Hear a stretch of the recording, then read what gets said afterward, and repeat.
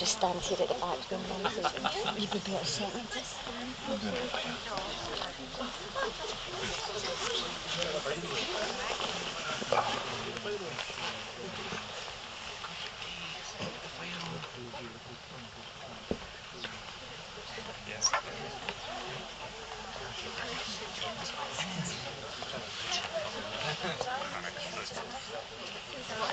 Yeah, here is Michael. Been watching. It's like this.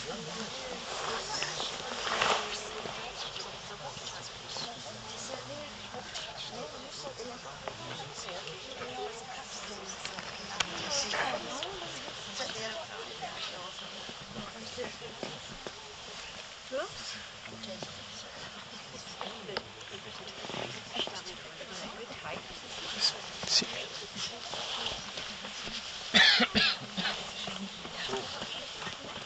Oh, that's full house pretty much. So here we are, that is now a one-to-one copy, one-to-one reconstruction of 2,500 year old early Iron Age Oak Bank Crannog. And I mean, you can imagine yourself reconstructing that big project of experimental archaeology. So for example, this whole platform that we sit on just now, that is incredibly solid.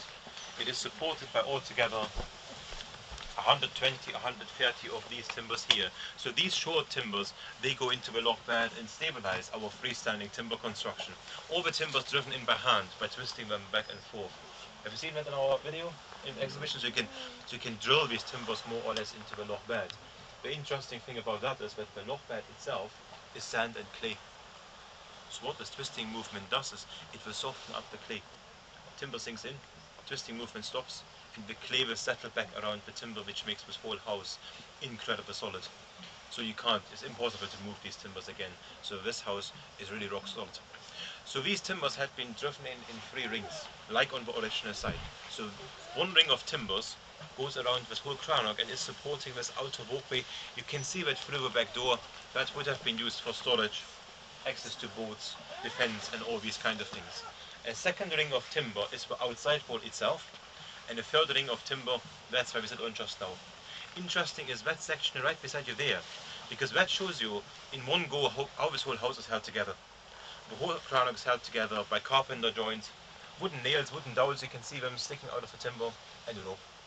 And that's what we can find underwater. That's what we use as well. So we are of course very proud that our whole reconstruction itself does not contain a single nail or a single screw. Except the door hinge. But there are different ways of doing that. As for example an uh, Bronze Age door hinge design you can use in stone which has a kind of dish shape and you rest the door pivot in there and you attach the top of that with a leather strap onto the door frame. So there are different ways of doing that. The rope we are using, that's of course modern rope. Nothing we can do, but if you think two and a half thousand years back, that's of course plant materials. You can use grass, you can use bast, for example, the inner liner of tree bark makes a fantastic rope, especially elm bast is fantastic. So there are a lot of different materials available for doing this. This walkway out here leading back to the shore, that looked pretty much the same on the original site. There's one big difference. The original walkway ends about two meters short of the shoreline, so it leaves a quite big gap between end of walkway and shoreline, which shows us very clearly the main reason for building that. In clear defensive structure and clear defensive homestead. Floor is interesting. We could find a huge part of the original floor underwater, very well preserved over 2,500 years. That's one of the biggest floors ever found in Scotland so far dating back to the early Iron Age. On top of that you can see all this bracken and that's exactly what we can find underwater so we use it to stop the draft from coming in. Now finding all this bracken is great for us. To find an entire house floor is fantastic because you have all this bracken on here so now talking from own experience and you can imagine if you lose anything out here you've heard it because you won't find it again. That was of course pretty much the same for them so browsing through this bracken carpet that's like a jigsaw puzzle. For example from about the usages now, right up to here, we could find on this side of the building a lot of animal droppings, mostly sheep and goats. So clearly people have animals living out here. Of course important in terms of heat, extra heating.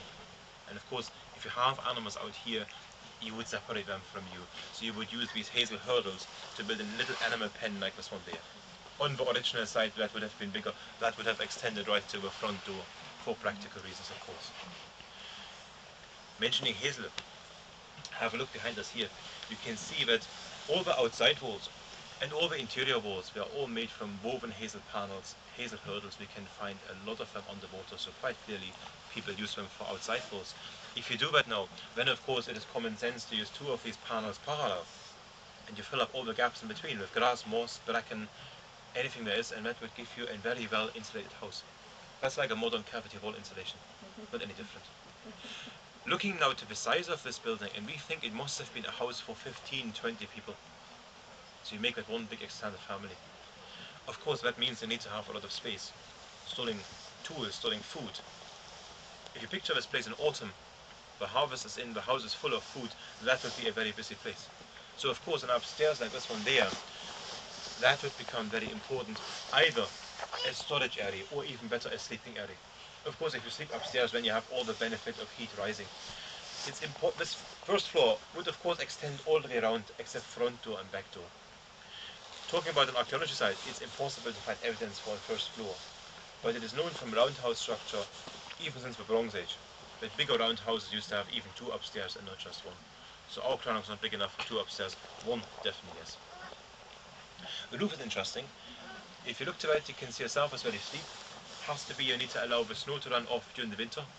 We are using four tons of reed for our thatch, which is slightly cheating. You hardly find reed along Loch Tay, so people living here would have used something else, most likely to be straw, them being farmers, or bracken. Bracken is a very good thatching material, so that can be used as a thatch as well. I used to live in Isle of Mull. Is somebody from the west coast? Hmm?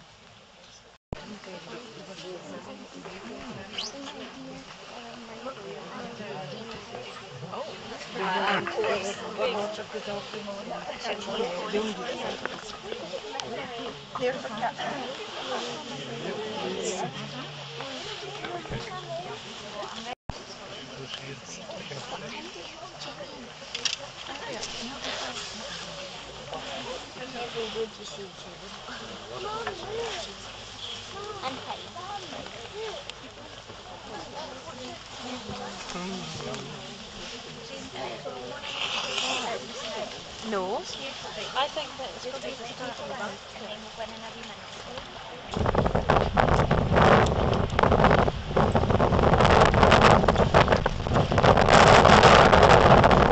If you can find a tree that's got a very flexible, supple, young branch anyway, you can just bend that over and you'll set your lathe up where you find uh, find a suitable tree.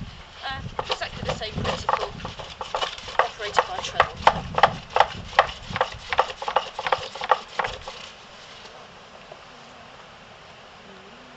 And we do have safety goggles there with those, so please do uh, use uh, those. Very Iron Age, I know, but. Uh, um, right, so if you.